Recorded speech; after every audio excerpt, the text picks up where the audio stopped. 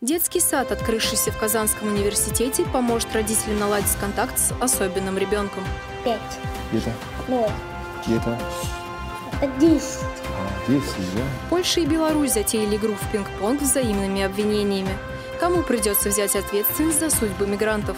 Их же они уже поймали и даже вынуждены были объявить, кто они. Там не было белорусов.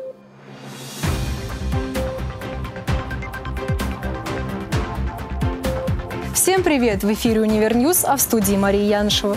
В Казанском федеральном университете откроется научно-технологический центр водородные технологии. Об этом во время рабочего совещания сообщил ректор вуза Ильшат Гафуров.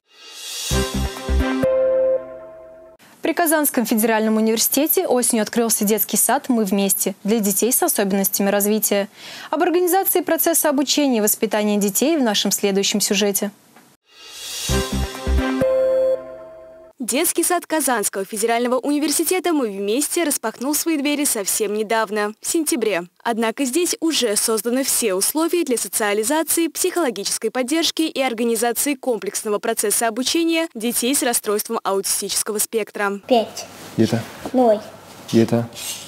Это десять. А, 10, да? Этого смышленого мальчика зовут Карим. С самых пеленок ему интересно все, что связано с числами. Именно поэтому каждый день он с нетерпением ждет нового урока с преподавателем. Карин, но он функциональный, функциональный мальчик, но он отвечает на, на вопросы, но мы э, часто работа, э, работаем э, с ним, ну, потому что у них э, у нее хоро- хороший, хороший прогресс.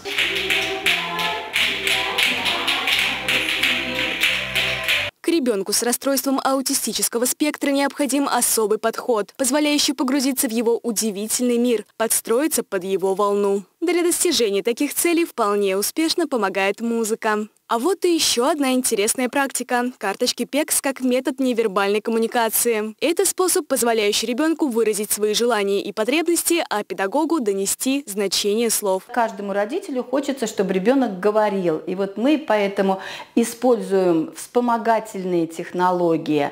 Э, И ребенок, опираясь на данные технологии, начинает произносить звуки. У.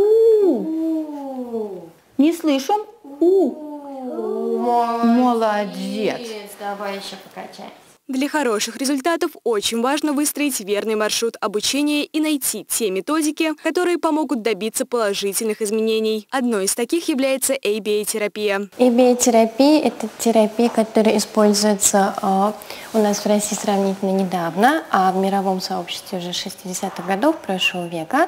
Э, и сейчас набирает э, популярность, потому что это одна из научно доказанных методов да, э, для э, коррекции э, расстройств аутистического спектра. Услышав диагноз аутизм, большинство родителей впадает в отчаяние и не знает, что делать. Однако детский аутизм – это не безысходность и не приговор. Подобные расстройства давно исследуют ученые и предлагают множество способов для успешной борьбы с недугом и всестороннего развития детей. Детский сад КФУ «Мы вместе» тому подтверждение. Надежда Мещерякова, Александр Кузнецов, Univer News.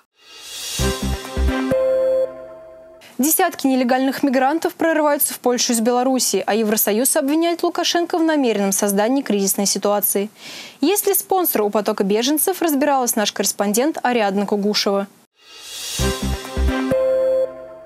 Толпа мигрантов из стран Ближнего Востока, стекающаяся из Беларуси к польской границе, растягивается на сотни метров. Временные лагеря разбиты в лесах, прямо под заграждением. За сутки военные могут отражать до 300 попыток беженцев штурмом прорваться на территорию Евросоюза. Мигранты перерезают колючую проволоку и закидывают пограничников бутылками. На некоторых видео с места происшествия слышатся крики и стрельба.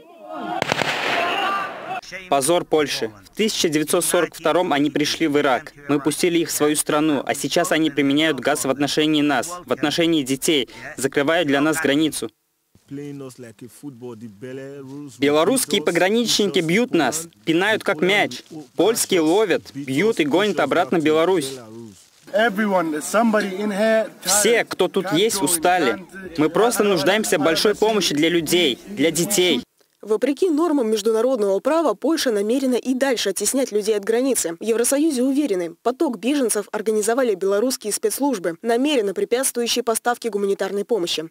По обвинению в пособничестве нелегальной миграции на территории Польши уже задержали российского гражданина. С моей точки зрения, это все абсолютно абсурдные, надуманные обвинения в адрес Беларуси. Вот, э, Беларусь действует абсолютно логично. Э, граждане, ино, иностранные граждане из Ближнего Востока, из Афганистана э, прилетают на самолетах законным образом, высаживаются на территории Беларуси. И Беларусь э, не имеет оснований контролировать движение этих граждан по территории Беларуси. Хотят ли они идти к западной границе, хотят ли они идти к восточной границе. Они свободные люди. Десятки транзитеров, которых людей подкидывают, это немцы и прежде всего поляки. Ну еще и украинцы, литовцы. То есть там своя мафиозная структура, которая обеспечивает этот транзит. Ситуация, которая возникла сегодня, она во многом спровоцирована и порождена э, сами, самой политикой западных стран, которая целенаправленно э, на, в течение долгих лет э, разрушала стабильную систему внутренней власти, порядка в регионе Ближнего Востока, в африканских регионах пытались навязать собственные ценности. И в результате вот мы видим примеры арабских революций, различного рода гражданских войн в этом регионе, которые э, спровоцировали э, людей, мирно, спокойно живущих на протяжении десятков, сотен лет в этом регионе, на то, чтобы они сдвинулись со своих традиционных мест проживания и двинулись искать лучшей судьбы. Вот. А куда они идут? Они идут, естественно, в богатые страны той же самой Европы. Но Европа уже теперь их видеть не хочет. Она хочет вмешиваться э, в жизнь этих стран, но ответственность нести и принимать э, этих людей она уже не хочет. Со ссылкой на источники в дипломатических кругах иностранные СМИ сообщают – что новые меры в отношении Белоруссии могут ввести с 15 ноября. Пакет санкций затронет ответственных за организацию миграционных потоков и виновных в нарушениях прав человека. В качестве правового основания Евросоюз планирует добавить новую категорию – торговля людьми. Ариадна Кугушева, Univer News. За три недели ноября жители Татарстана должны заплатить 8 миллиардов 100 миллионов рублей налоговых выплат.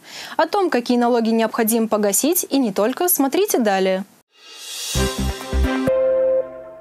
9 ноября на брифинге в Доме правительства Республики Татарстан глава управления Федеральной налоговой службы по Республике Татарстан Марат Софиулин сообщил, что жители Татарстана до 1 декабря текущего года должны выплатить три вида налогов – транспортный, земельный и имущественный. На сегодняшний день, значит, за 2020 год все налоговые уведомления нашим налогоплательщикам разосланы. Сегодня их 2 э, миллиона 157 тысяч человек – Значит, и общая сумма начислений, как вы видите на слайде, составляет 8 миллиардов 100 миллионов рублей. Это рост по сравнению с предыдущим периодом на 350 миллионов рублей. На рост объема налоговых платежей, которые собираются на территории Татарстана с физических лиц, влияют два основных фактора. Во-первых, э, действительно увеличивается количество объектов налогообложения, увеличивается количество автомобилей, находящихся в собственности физических лиц, увеличивается количество квартир, домов, земельных участков, находящихся в собственности физических лиц. Естественно, э, растет и налоговая база, и налоговые поступления. Немаловажен и второй фактор – продолжающийся переход от налогообложения недвижимости по инвентаризационной стоимости к обложению по кадастровой стоимости. Каждый год постепенно размер налогового платежа, взимаемого собственников недвижимости, увеличивается, постепенно приближаясь к тому платежу, который должен быть соответствовать кадастровой стоимости того или иного объекта. В начале октября налоговые уведомления в электронном виде получили 680 тысяч татарстанцев, которые являются пользователями личного кабинета налогоплательщика. Остальные жители республики получили уведомление по почте. Я прошу наших уважаемых граждан, если они не получили налоговое уведомление по имущественным налогам, значит, обратиться в любой налоговый орган, значит, для, если у него есть имущество, и он не получил, обратиться в налоговый орган с, о, о том, что имущество у него есть, и по тем или иным причинам он налоговое уведомление не получил. В условиях сложившейся санитарно-эпидемиологической обстановки по коронавирусу татарстанцев просят уплатить налоги дистанционно. Сделать это можно через мобильное приложение или через личный кабинет налогоплательщика. Елизавета Никитина, Univer News. На этом все. В студии была Мария Яншева. Сюжеты из выпуска ты можешь найти в наших социальных сетях, а также на сайте телеканала. До новых встреч!